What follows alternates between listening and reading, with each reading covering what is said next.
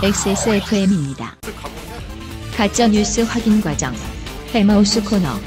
팟캐스트 에디션. 어, 그러니까 사실상 윤석열 캠프의 판단 같은 얘기를 지금 하고 있는 겁니다. 거의 공유하고 있죠. 음. 그 다음에 이런 얘기도 합니다. 아마 바깥에서 중도층을 결집하는 역할을 하고 마지막에 국민의힘 후보와 단일화를 하겠다는 생각으로 저는 알고 있다.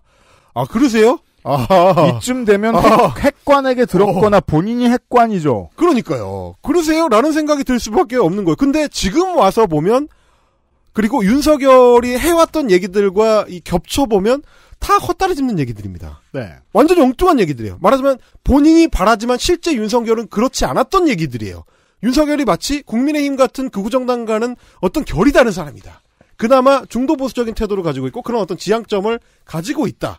그래서 확장성이 있는 사람이다라고 주장은 했지만 계속 말하죠, 이 진중권은. 뚜껑 땄더니 전혀 아니었던. 동해바보, 그거. 네.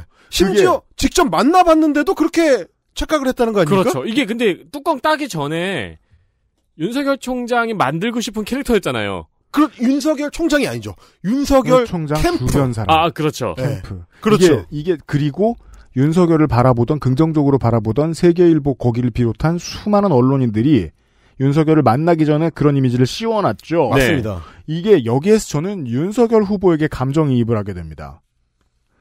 누구도 실제로 그를 이해한 사람이 없습니다. 외롭네. 그냥 내가 쓰고 싶은 어떤 이미지로 쓰고 싶었을 뿐이에요. 그 이미지는 뭘까요? 전 이걸 국민의당 이론이라고 부릅니다.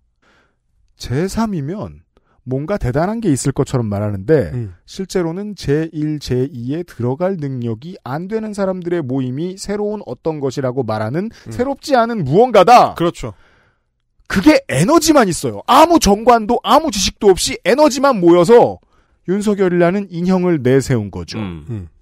그 인형을 내세우는 손들 중에는 진중권도 있었던 걸로 보이고. 그러니까 마치 그 하얀 도화지에 동상이몽을 하는 여러 사람이 모여들어서 이 하얀 도화지에 내가 원래 꿈꿨던 어떤 정치인이나 정치 세력의 모양을 그리면 되지. 라는 착각. 근데 이걸 이미 10년 전에 수많은 사람들이 실패를 했습니다. 안철수를 대상으로. 왜냐면 그들은 도화지가 아니고 인간이거든요. 네. 그들도 정치적 주체고 그들도 정치적 지향점을 갖고 있는 도화지가 아니라 인간이기 때문에 실패했던 그 지점에 다시 진중권 선생이 발을 들여서 역시 다시 실패하고 있는 상황입니다. 누가 윤석열을 처음에 도화지라고 생각을 했는가? 이것은 지지지난쯤 헬마우스 코너를 들어보시면 알 수 있습니다. 그렇습니다. 진정 스승 외 여럿.